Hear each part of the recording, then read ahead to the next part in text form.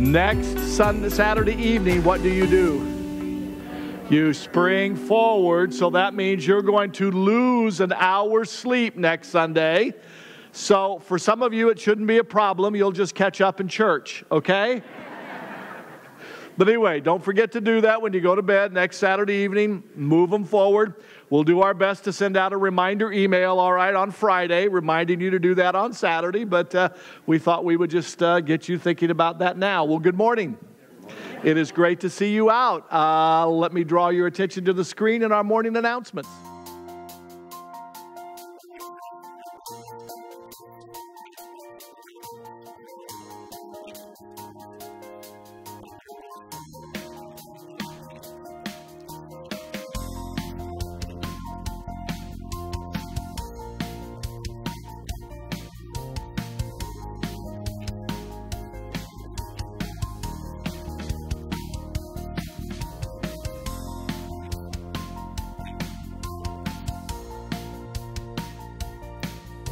This evening is our Sunday evening service.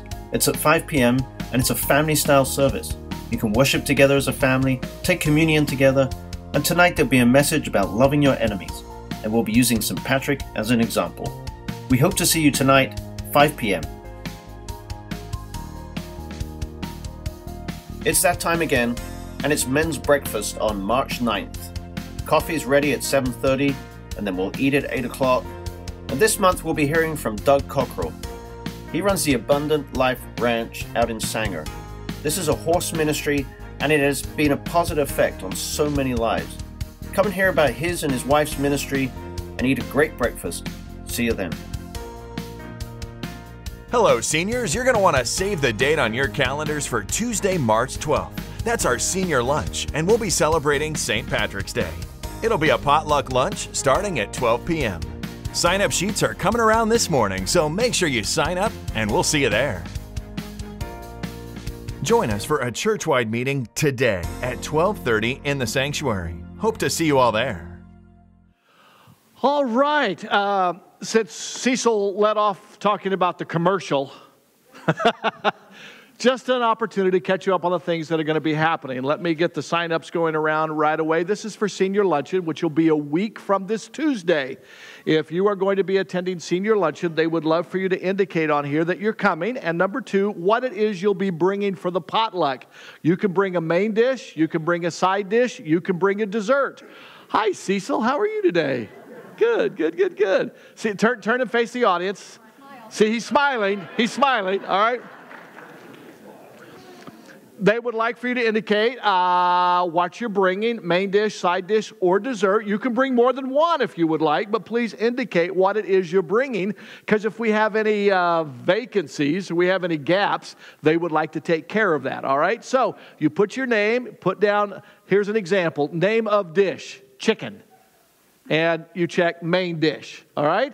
If you're bringing a salad, all right, then write down salad and it would go under a side dish, all right?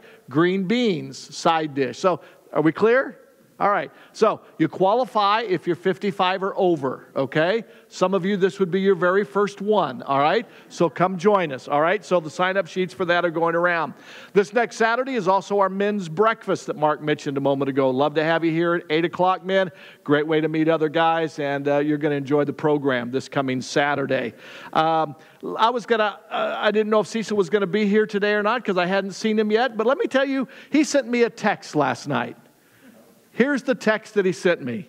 Thank you, exclamation point. I am so blessed to have this opportunity to serve the church. I come away every time being lifted up. Praise God.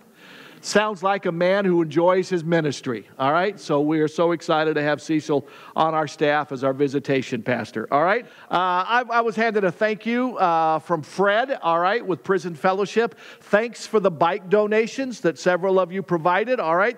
Uh, he took over 45 bikes to prison, all right, to be refurbished, and then they will be reused. And uh, that, that prison ministry has given out over 400 bikes to kids, all right? And so they have 45 new ones to work on. So thank you. If you missed the opportunity to get rid of a bike out of your garage, just hold on to it a few more months. They'll do it again in the summer, all right? And provide those bikes to the inmates at a prison here in the valley.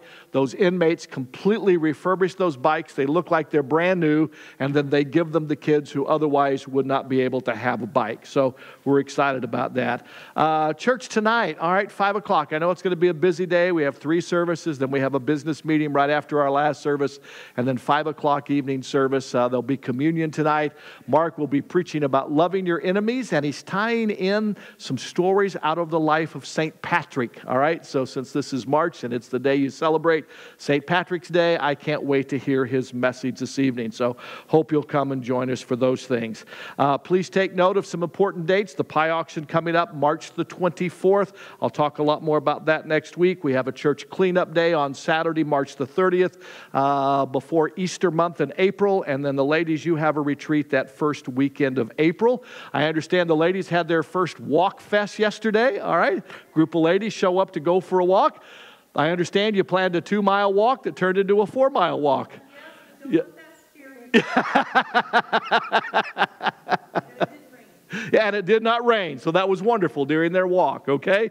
So that is terrific. Um, let me briefly just talk about the, uh, the meeting after the last service today. It's a brief business meeting, probably a half an hour. We're going to be doing three things.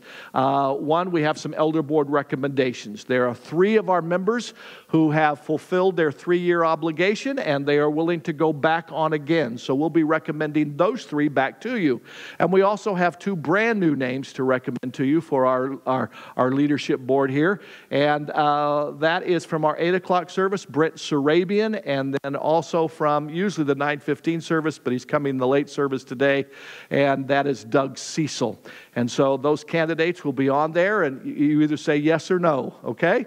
So it's pretty easy. It's, it's, it's not the best three or the top three, it's yes or no on all five of them, okay? So uh, after that, we're going to be talking about the barn, where we are in our pledges. As you know, last year in September, we launched our pledge drive, and we received $1.2 million in pledges, okay, for our building that we hope will start July the 1st with uh, breaking of the ground here. Um, from the pledges, we have already received right at $500,000 of those $1.2 million in pledges that has come in since October, which I think is really, really good. In less than five months, all right, a half a million dollars has been received. So we are very, very grateful for that. So thank you. Uh, those of you who are making monthly commitments, they are coming in uh, the last two months at about $15,000 a month. Now we have some who are doing larger donations once a year, and we have others who are doing it on a quarterly basis. But whatever your commitment was, thank you so much. And we'll be talking more about reaching our goal of 1.5 to 1.6 probably after Easter, all right? But those of you who've already made those commitments, thank you so much. They're coming in, and we appreciate that. Then the last thing we'll do is uh, we will distribute the 2018 financial end of the year statement. It's very similar to what you saw the 1st of December as we shared with you the budget for 2019.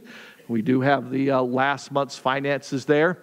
Uh, at any time, any of you, whether you are a member of this church or a regular attender or brand new to the church and you want to know uh, how do we spend our money, you can go to our website and you can go under resources and you will find church financials for 2018 and you can click on it.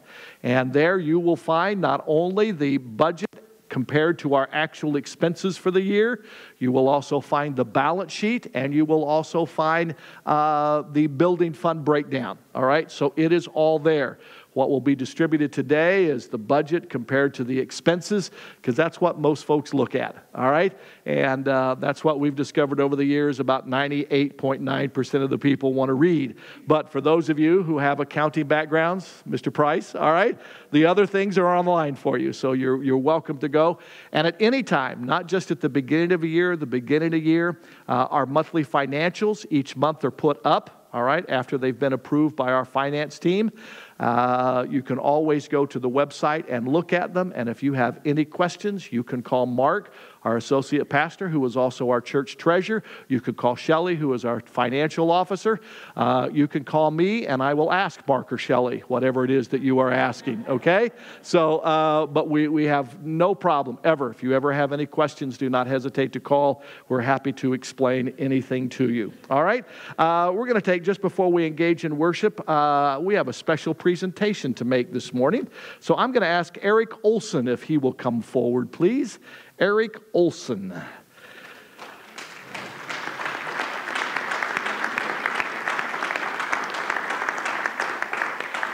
Obviously, Eric, you have a calling, I mean, a following here because they applauded just at the mention of your name.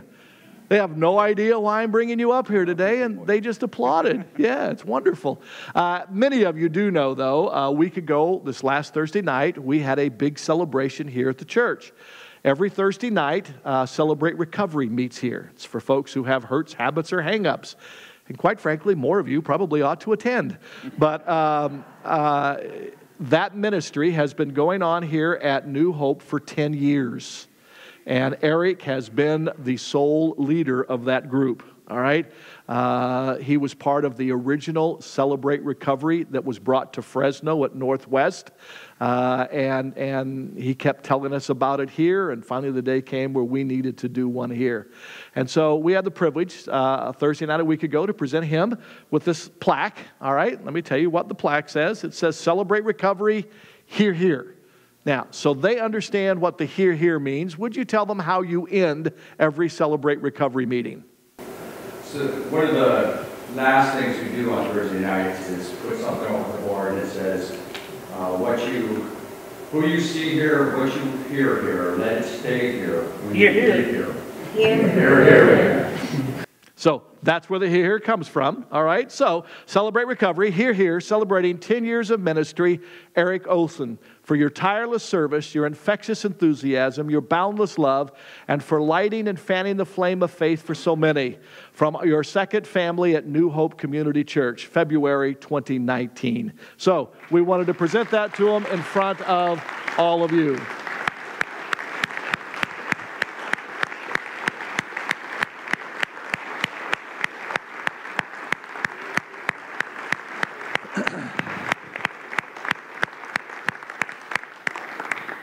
And you may be seated. Uh, over the last few months, uh, Eric and I have engaged in uh, uh numerous conversations uh, about Celebrate Recovery and this 10th anniversary. At the same time, uh, Eric was sharing that God was putting in his heart to do some other things in ministry. in the community around New Hope Church, Celebrate Recovery requires a lot of time. Some of you may not know he works for Caltrans. He's a civil, he's an engineer. He does work, yes. He's not one of those who leans on the shovel, all right? He actually does the work. And so he's an engineer with them, and he's taken on new responsibilities that require a lot more of his time. And, and so, anyway, uh, not wanting to take away from the 10th anniversary celebration, we have waited until this week to share with you that Eric uh, has chosen to step down from Celebrate Recovery leadership. He's not leaving us, he's not running away, but he's looking for what God has next in his life.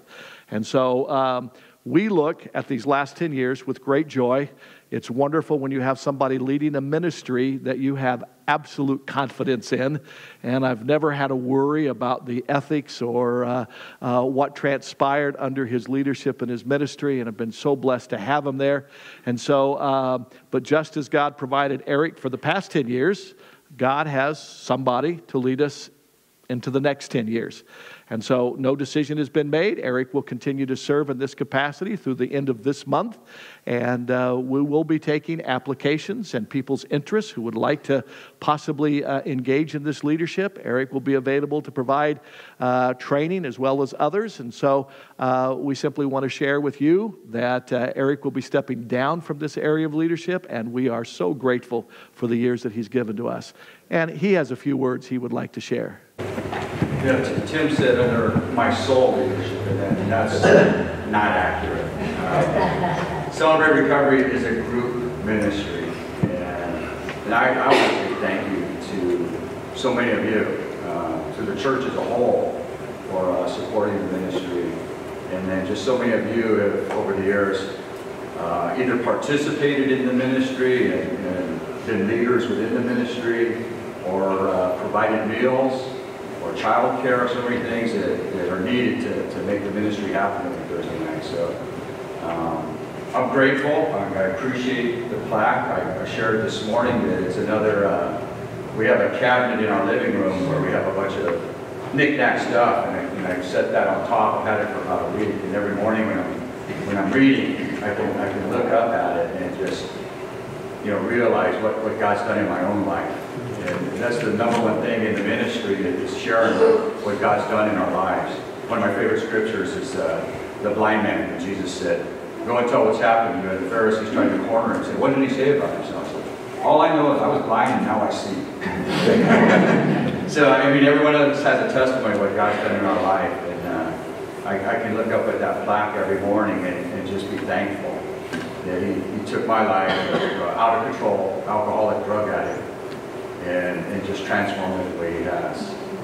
So I'm, I'm, thankful, number one, to him, but thankful to, to all of you for, for giving me the opportunity to meet. Amen. Amen. Amen. God bless you, buddy. I love you. Yeah. So I've, I've given this to him uh, three times now, and I've taken it back three times. All right, so I get to do it once more. Yeah, I remember the first time that Eric showed up here. Uh, uh, he was recently clean and sober, very recently, and he was skinny, really skinny, and he was single. Uh, he was fathering two daughters, all right, that he didn't father, but he accepted that role and responsibility from a previous relationship in his wild and crazy days, and he has fulfilled those responsibilities. He's married him a wonderful wife, and he's gone on to be an engineer with with uh, Caltrans, and uh, we see the difference that God makes. And there's a reason the name of the ministry is Celebrate Recovery. Because when you recover from the damage that you've done and the damage that these decisions have done in your life, and you turn them over to Christ, there is recovery. And we love to celebrate that. So, amen. With that, we ought to worship the Lord, all right? So, I'm going to ask our ushers to come forward, wait on us as we have our tithes and offering, and uh, our worship team. And I, don't, I think we have special music today. Is that right? Yeah. All right. So, anyway, we'll engage in all of that uh, now that we have taken care of our announcements. Would you join with me as we pray? There are a couple of prayer requests I want to highlight that are not in your bulletin. It's great to see Kent with us today. Wave, Kent. All right. He's breathing pretty good today. All right. If he starts coughing, don't worry about it. He's not contagious. And he is going to go to the foyer. You already told me. All right. Uh, but it's good to see him. But we want to continue to pray for Kent, but we also want to pray for his mama. She's at St. Agnes Hospital. She has sepsis. And so uh, she's in some challenging straits today. My, uh, my cousin Shelly's husband David, that I mentioned last week, it has been confirmed. His cancer is back. He's going to be starting treatment. He's going to be making a trip to Stanford, all right? And so please be remembering to pray for David as he starts this up. Uh, Dan had a treatment this week, all right? And so he's kind of flat on his back right now. So be, be remembering uh, him. Tom Howell from our church has been uh, in the hospital for over a week. So please be remembering to pray for these folks. Would you join with me as we thank God for his availability to our lives? Father, for this day and what it is that you have as desires and purposes for our lives, may you find each of us willing and ready and responsive to what your leadership is. Father, um, the desire of your heart is that we, every moment of every day, would live in dependence upon you. We would not make any decision, big or small, we wouldn't plan um, any direction in our life, big or small. We wouldn't have any other purpose in our life but what it is that you want to do in and through us. You want to be the source of your own demands. You want to be the dynamic of every powerful thing that takes place in our lives. And I hope that we will let you. It's hard to do that all at once, but I trust in growing measure we give you more and more of our lives, more and more of our circumstances, more and more of our decisions. I hope we learn that it's better to surrender to you in advance than it is after the fact. And so, Lord, I hope that we'll learn and grow in those areas. We trust you with the needs that we have expressed here today. Lord, for Kent and for Kent's mom, we trust you with their needs. For David and Dan as they're going through their treatment. For Irma, it's great to see her today and how well treatment uh, has worked in her life at this moment. Lord, we trust you with others who've been in the hospital, like Dalton and Marge Tharp, and how they're recovering now, and we thank you for that. Lord, for those unknown needs that are present and some unmentioned needs today, Lord. Uh, the fact that they may be unknown to us or unmentioned in our presence doesn't mean you are neglectful of them at all. You know each and every concern that we have here today, and you are attentive to those things. And Father, if there's ways that you want to use any of us to be your hands, your feet, your voice of help, hope, or encouragement, may you find us ready and willing and quick to respond to your leadership in those areas. Lord, we, we as a church are so grateful for your sufficiency in meeting the needs of this church financially. Just not only our operations of day to day expenses, but Father, for the outreach into the community and the outreach to other churches and the outreach to other ministries that make a difference to our missions programs outside the, the, the, the reach of the United States. We are so grateful that you have provided through this people in abundance. And we say thank you today. And Father, that should never inhibit our giving because there's an abundance, but Father, it should encourage our giving because there is more and more that you would love to do in and through us as we give and as we even think about giving sacrificially. We trust you for this and so much more. In Jesus' name, amen. Last night uh, is the 10th Hoover High Baseball Hall of Fame dinner and fundraiser that I've had the privilege of going to. Uh, I did not play baseball. Wished I would have, but I didn't. But um, I knew the coach very, very well, and we've had some men from our church who've been recognized and are members as uh, part of the Hall of Fame for Hoover High School back in the 60s, 70s, and even 80s. And um, Jack Hannah, and Hal Froese were the two legendary coaches for over 25 years at Hoover High School. Many of you know Jack Hannah, uh, Sons of the San Joaquin. Uh, but I listened to Jack share last night as he made some comments that it was never his desire to have a group called Sons of the San Joaquin. Even when they got heard at a small event and a pretty highbrow country western singer said, I can take you guys to Nashville and you won't have to work your way up. And they didn't. And for over 25 years, Sons of the San Joaquin, I mean, they, they sang for the Queen of England. They opened up lots of huge, big shows. And Jack said, None of that was important to me. He said, What I knew my purpose in life was, was to be light that could shine into the dark hearts of young men on a baseball field. And then he introduced a baseball player from the 1960s. Jim Bourne remembers him. Jim Bourne played with him. Is it Rick Fuller? I'd never met Rick until last night, briefly got acquainted with him. Rick Fuller was the first Hoover High athlete to be drafted into professional baseball. I believe he was drafted by the Philadelphia Phillies, if, if I remember what they said last night. He played two years in the organization. It came to an end because of an injury. And then he went in the Navy and became a medic to the Marines during Vietnam.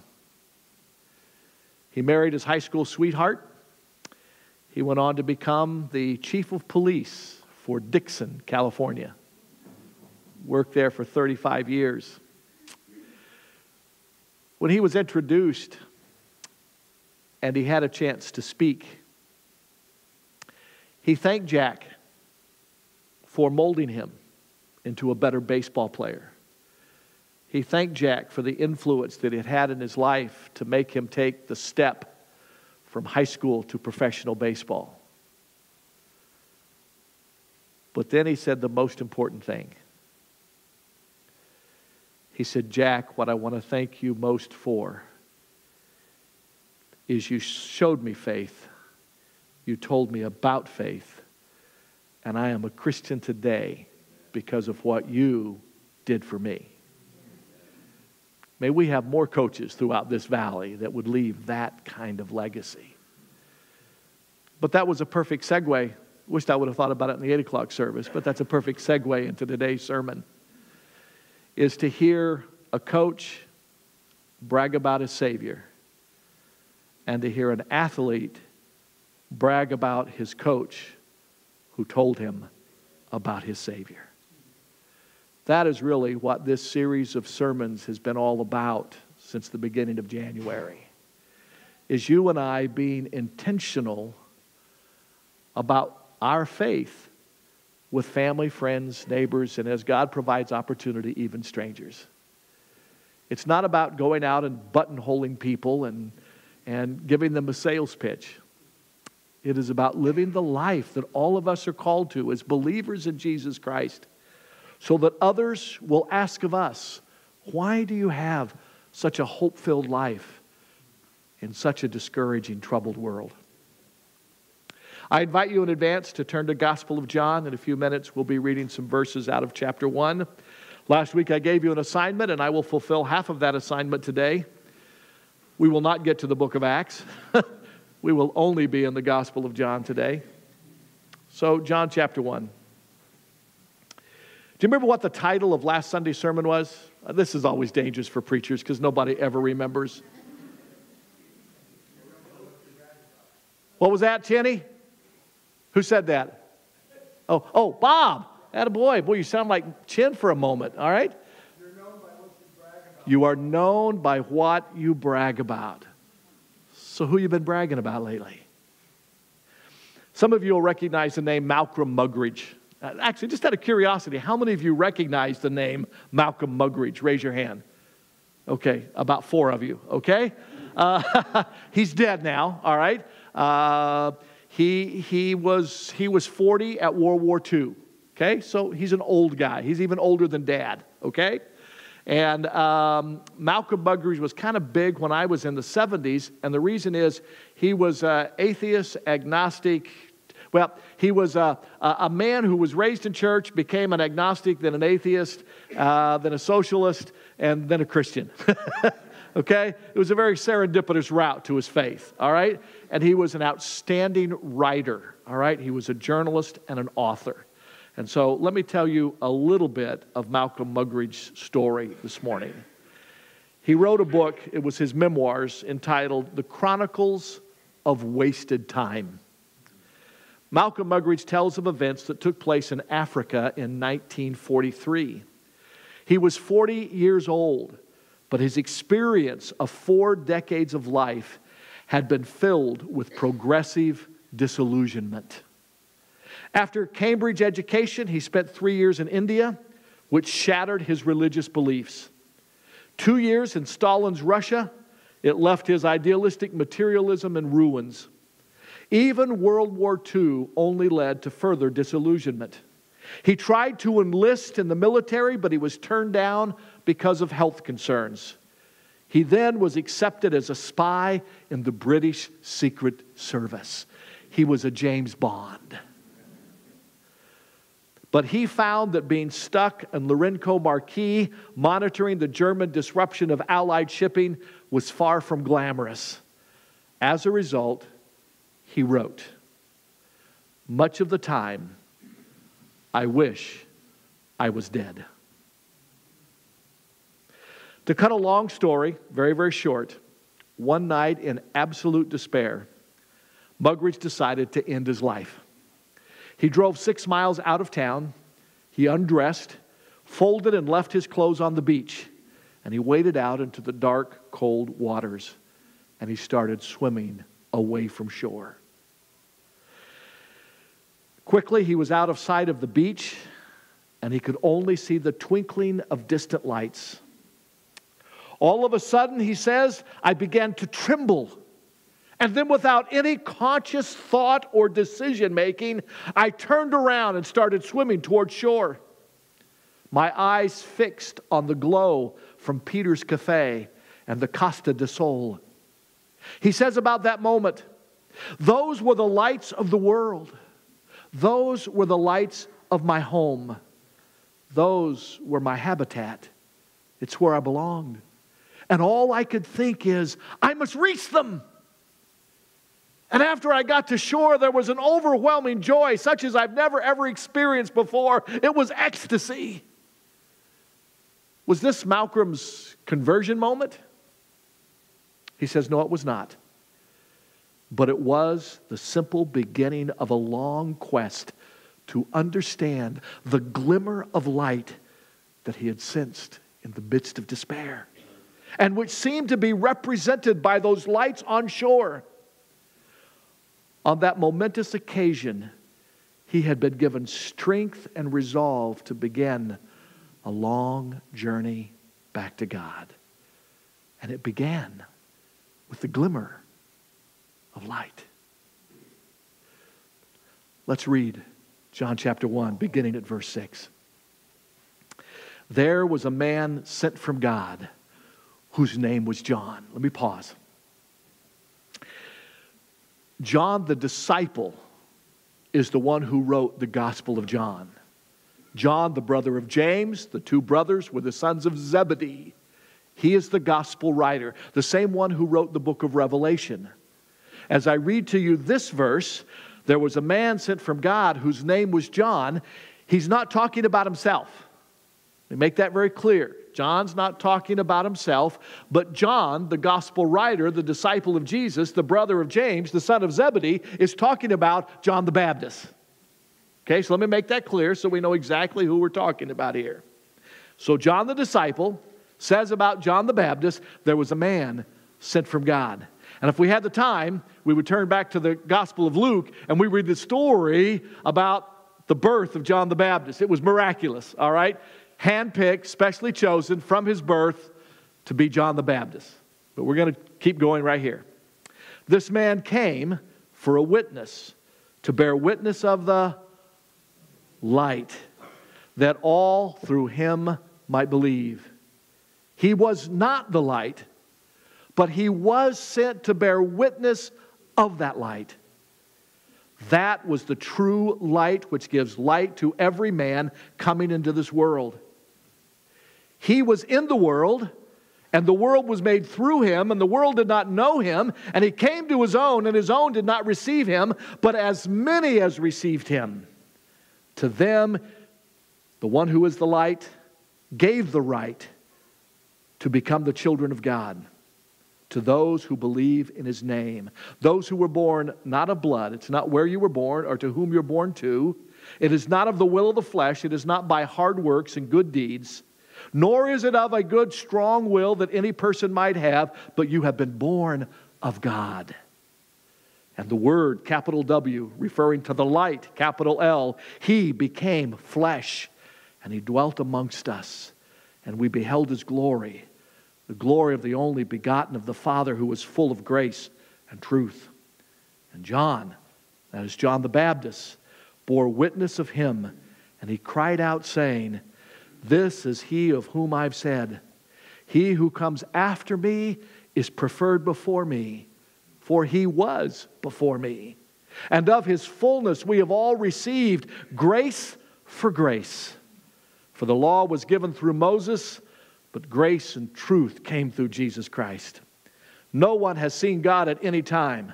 The only begotten Son, who is in the bosom of the Father, he has declared him. I'm not going to ask you to turn there, but I'm going to read a few verses from Genesis chapter 1. It seems like it's really hard to read John chapter 1 without going back to Genesis chapter 1. There are some great similarities. In the beginning was the Word, John chapter 1, verse 1. Genesis chapter 1, verse 1. In the beginning, God. Okay, that's actually where baseball got started. In the big inning. Okay, the big inning. All right. So we know baseball's been around for a long, long time. All right. But let me refer back to Genesis chapter 1. In the beginning, God created the heavens and the earth, and the earth was without form and void, and darkness was upon the face of the deep. And the Spirit of God was hovering over the face of the waters. And then God said, Let there be light. And there was light. And God saw the light, that it was good. And God divided the light from the darkness. And God called the light day, and the darkness he called night. He didn't call it good, he called it night. He called the light good, and all he did was make an observation about the darkness, and he split them. So God called the light day, and the darkness he called night. So the evening and the morning were the first day. And then God said, Let there be a firmament in the midst of the waters, and let it divide waters from waters, the sky from, from, from, from what was on this globe. And it was so. And God called the firmament heaven. And so the evening and the morning were the second day. And then God said, Let the waters under the heavens be gathered together in one place, and let dry land appear. And it was so. And God called the dry land earth. And the gathering together of the waters he called seas. And God saw what? That it was good. And then God said, Let the earth bring forth grass, and the herb that yields seed, and the fruit tree that yields fruit according to its kind, whose seed is in itself on the earth. And it was so. And the earth brought forth grass, and the herb that yields seeds according to its kind, and the tree that yields fruits, whose seed is in itself. And God saw that it was good. And so the evening and the morning were the first day. And then God said, Let there be lights in the firmament of the heavens, in the sphere above the earth, to divide the day from the night. And let them be for signs and seasons and for days and years, and let them be for lights in the firmament of the heavens to give light on the earth. And it was so. And then God made two great lights the greater light to rule the day, and the lesser light to rule the night. And He made the stars also. And God set them in the firmament of the heavens to give light on the earth and to rule over the day and over the night, to divide the light from the darkness. And God saw that it was good. So the evening and the morning were the fourth day. I, I want you, you probably have already figured this out, but I want, I want to make sure something's really clear in your minds. The sun and the moon and the stars don't show up until which day? Day four. But there was light and darkness. Okay? Where'd the light come from? I suggest to you this is the same principle that functions in heaven. For if you remember what we talked about when we talked about heaven last year, there is no need, the scripture says, for the sun and the moon in heaven, for the source of light in heaven is who? God the Son. He is the one who shines brightly and lights up. There is, the Bible says there is no night there. So heaven is perpetual daylight, hell is perpetual darkness because there's no light there. And so, what we have in the beginning of time is the light that illuminated this world before man was ever created. It's the light of God Himself. And just so you know, God knows a little something about science and physics. He knows just a little. Okay? And so He knew that in order for there to be days and nights and seasons of the year, there needed to be scientifically a sun and a moon and there needed to be this 24 hour period that would function, and those 24 hour days would roll into seasons. And so we have the understanding now of how all this took place. And is it shocking or surprising that it fits the formula of science? What I would suggest to you that good science fits creation, fits God. We learn in these verses that the Holy Creator made the stars and the planets. He strategically placed the moon near the dwelling place that He created for those in His image on the earth. The stars were placed, as we read in verse 14, as signs. Although we look up at night and we see the moon shine, um, let me clarify. We are seeing the moon shine. Okay? I want to make sure you know what moonshine I'm talking about right now, all right? Not the kind you drink, but the kind you observe, all right? And in reality, we, most of us know this, all right, from our classes. In reality, the moon is not shining its own light, the moon is reflecting the light of the sun. The moon shines because its surface reflects the light from the sun. And despite the fact that it sometimes seems to shine very brightly, The moon reflects only 3 to 12% of the sunlight that hits it. The perceived brightness of the moon from Earth depends on where the moon is in its orbit on the planet. Now, just a side note, don't want to get too distracted here. You see a principle at work here? Sun, moon, moon reflecting. John the Baptist, he's not the light, but he's come to talk about the light. You and I are reflections of the light from the sun. You and I actually should start mooning people.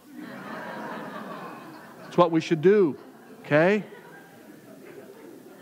We should, we should allow the reflection of the sun to, and, and, and notice the moon reflects 3 to 12% placed upon where it is. I would say the amount of the sun that is seen in us is going to be dependent upon our position to the sun.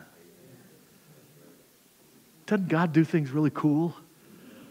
A, a, a, a, principle of science also has a spiritual principle in us.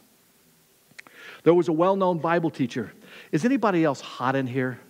Okay, let's make sure the heaters are off and maybe who's the coldest person in the building? Raise your hand.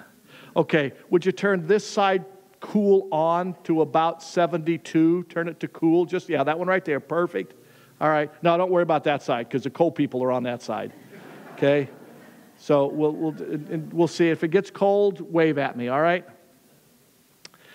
A well known Bible teacher had just finished speaking to, at a large seminar of business professionals on the Christian's responsibility to be the light of the world in the workplace. He had emphasized that as believers, we all have the responsibility to reflect the light in the world. After the class, one of the members related to him an experience that he'd had in his own home that impressed this same truth in his life. He said that in the darkest corner of the basement in his house, he had made a surprising discovery. Some potatoes from a potato bag had rolled out of the bag into the darkest corner of the basement, and they had sprouted and were growing. I couldn't figure out how they could grow because it takes sunlight for potatoes to grow. How could they do that? Then I noticed that hung from the ceiling near the basement window was a shiny copper kettle that was brightly polished and it was in the perfect position for several hours in the middle of the day to reflect the sun's rays into that darkest corner of the room where those few potatoes had fallen. The person relating the story said, When I saw that, I thought, I might not be a preacher or a teacher with the ability to expound the scriptures, but at least I can be a copper kettle catching the rays of the sun, S O N, and reflect his light to someone else. I do not want anybody to look up. Okay? You never hear preachers say that. Okay? Don't look up. We always should look up, but don't do that right now. I wonder how many of you could take paper and pen in hand and describe for me exactly what the lights in the sanctuary look like. I doubt most of you wouldn't have a clue. Okay? A few of us would because we've changed the bulbs. Okay? But most of the time, husbands, if I were to ask you describe the two lamps in your living room, could you really give me all the details of those lamps? I doubt it. You just know when you flip the switch, you want the light to come on. You see, there's a good reason for that. Lamps, when discharging their responsibility, are basically anonymous. Lamps behave incognito. They do their job, but we don't usually study a lamp. We simply enjoy the light. Isn't that the way it normally works? We enjoy the light. And that's our role as Christians. If we have claimed redemption through the shed blood of our once crucified and now risen Lord, if on the grounds of that redemptive transaction that Christ died for me, so he now can come live in me and reflect his life through me, if he's taken up residence in our humanity to be his witness, our privilege and responsibility is to be amongst those who discharge that privilege and responsibility in such a way that nobody is inclined to look at us. They simply enjoy the light. I think that's what Peter meant when he said, Be ready to give every man an answer for the hope that lives within you. They don't see you, but they see your hope in the midst of trouble. See, that's the privilege of being a witness. No one notices the lamp. Do you know when we notice the lamp? When something goes wrong with the lamp. When it begins to flicker, when it goes out completely, when it might shine too brightly in our eyes. Nobody notices the lamp under normal circumstances. It's simply when something goes wrong do we notice the lamp. So, what's the lesson there? Don't do anything wrong. Okay? Don't get in the way of the light, okay?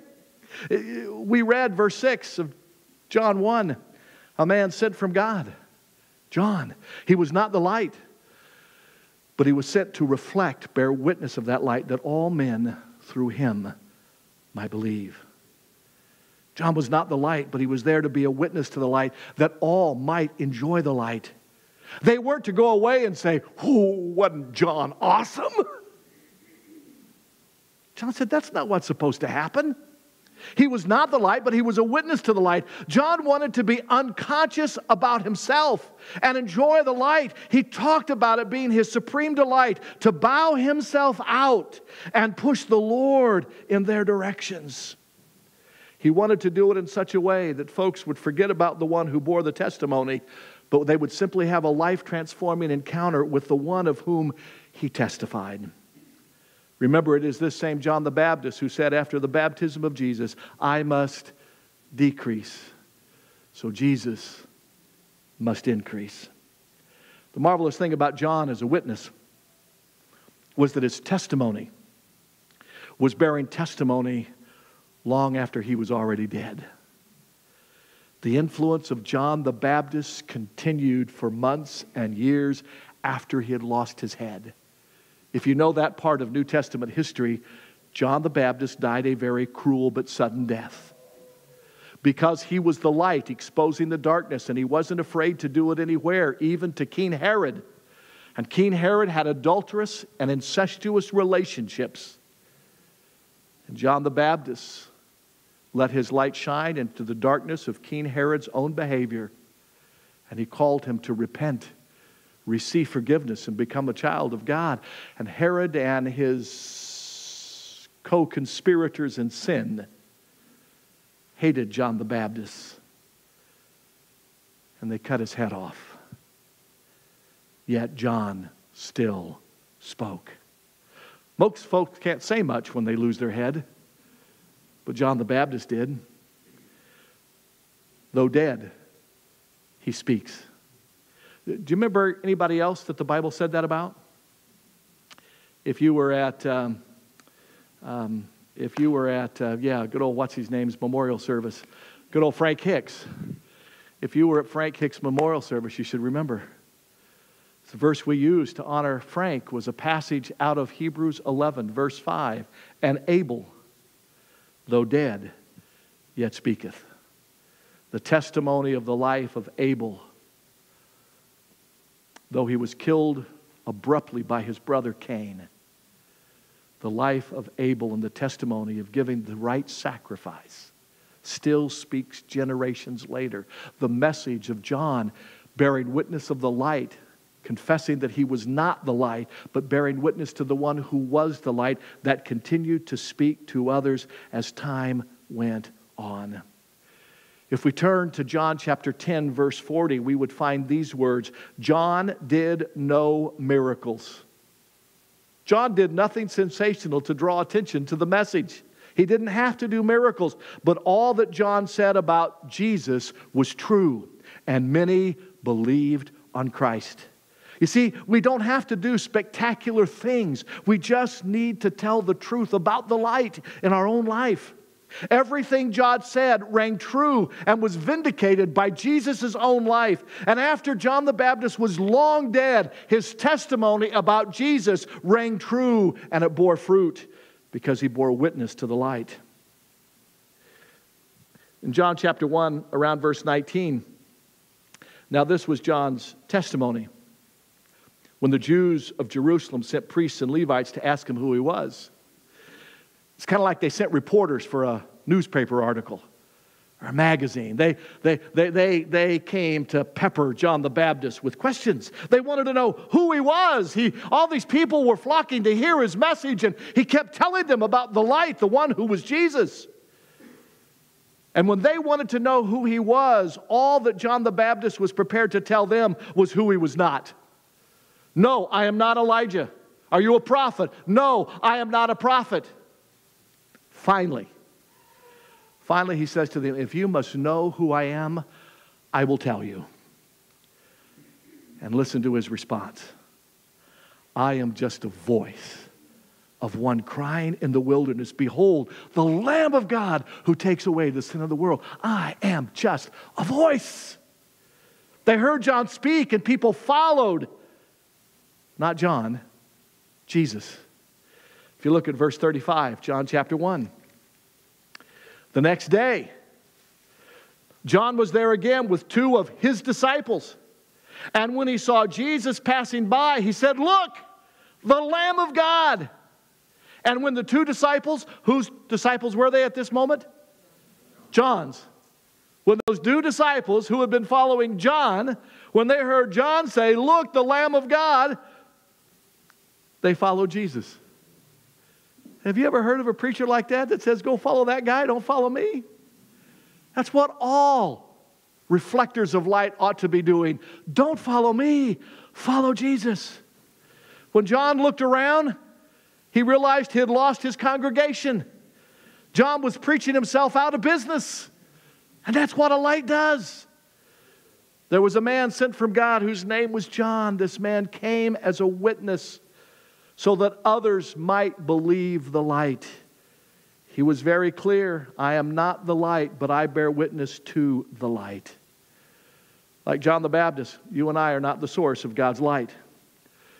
You and I are to be like the moon. We are to reflect the greater light. John was predestined to declare the light of the world. Jesus Christ is the true light. He lightens our path to God, and like a flashlight, he shines on the right path for us to follow.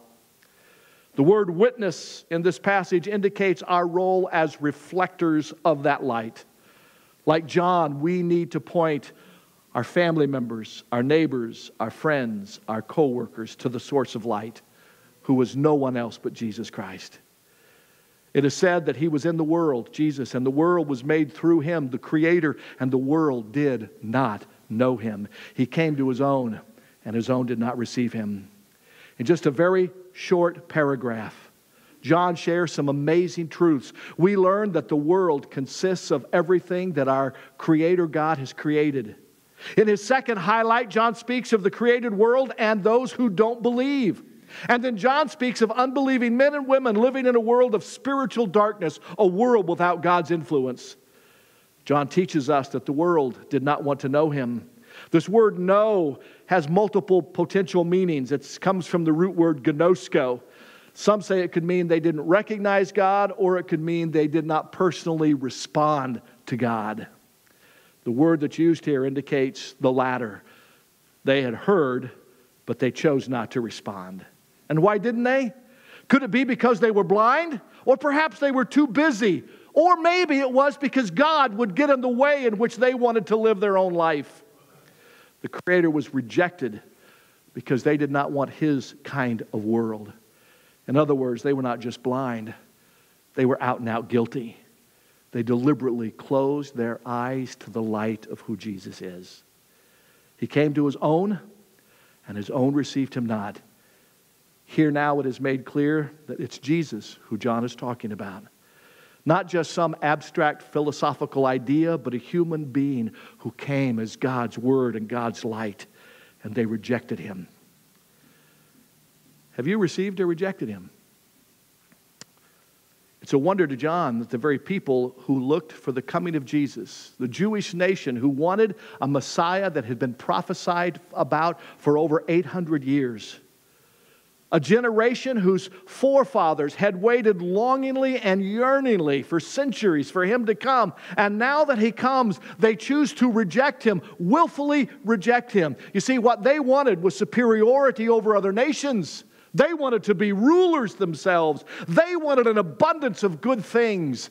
They wanted absolute protection in this world. Uh, they weren't concerned about the forgiveness of their sins. They weren't concerned about where they would go when they died. They were concerned about the here and now alone. But Jesus had come to reach the hearts of men and women, not to pander to our desires. He wanted them to yearn for truth, light, and life. Two of the verses, maybe the fifth or sixth verse that I learned in the Bible was verses 12 and 13 of John chapter 1. But as many as received him, who's the him?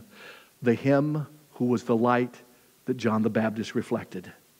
To those who receive him, he gave the right, the privilege to become the children of God to those who believe on his name, who were born not of blood. You won't have a relationship with God because you're born into a Christian family, nor of the will of the flesh, good works won't get it for you, nor the will of any man or woman, stubbornness won't get you heaven. But when you've been born of God, we need to stop and take a moment. And you need to reflect on these two verses personally. You may have been coming to New Hope for weeks, months, or years. You might think by hanging out at a place called New Hope that that's going to get you to heaven. It won't. The pastor can't take you on his coattails because they're too short. Your family breeding will not get you into heaven. The kindness and the patience that you may reflect in your daily life will not be good enough. There's one thing and one thing only it's called grace upon grace.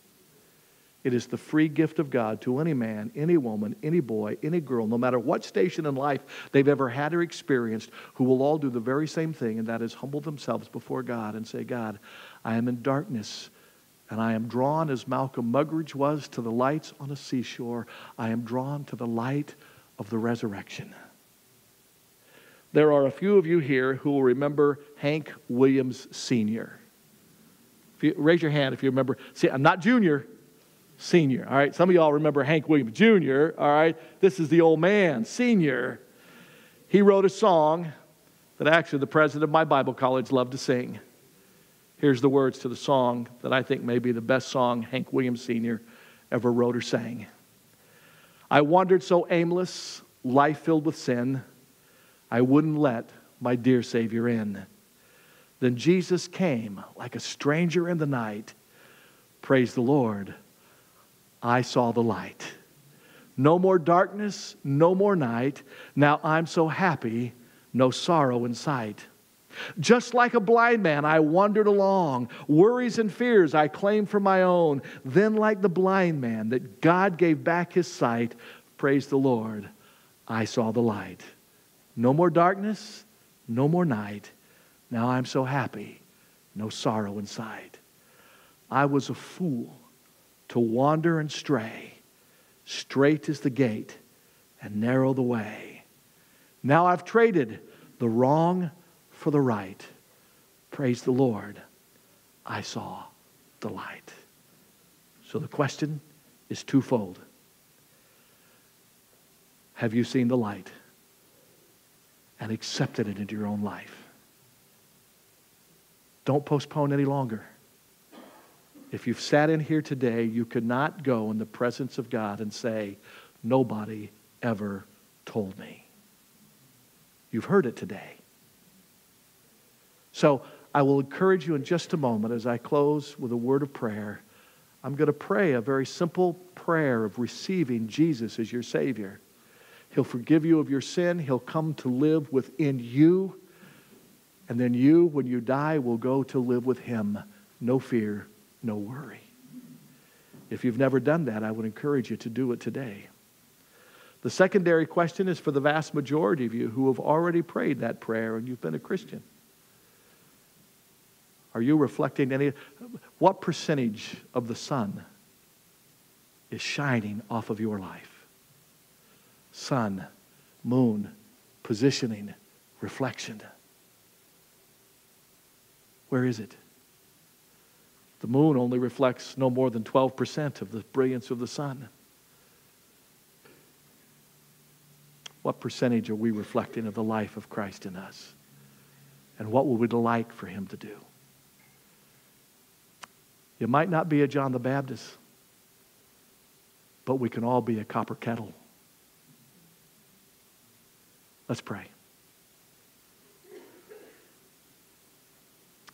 If you've never invited Christ in your life, why don't you pray a prayer like this? Father, I know now that your Son, Jesus Christ, is the light of the world. I know that He came to earth to give His life for me by pouring out His blood and dying in my place. He rose again on the third day, and He's back in heaven interceding for us. And God, thank you for forgiving me of all my sins. I ask you now to fill me with your light and your presence in the person of the Holy Spirit in my human spirit. Thank you for forgiving me. Thank you for coming to live within me, and thank you for taking me to live with you when I die. Thank you for being my everlasting life. From now on, I pray in the name of Jesus, who is my light, my life, and my Lord. In his name I pray. Amen. Amen. God bless you. Go have a good day and shine a little light.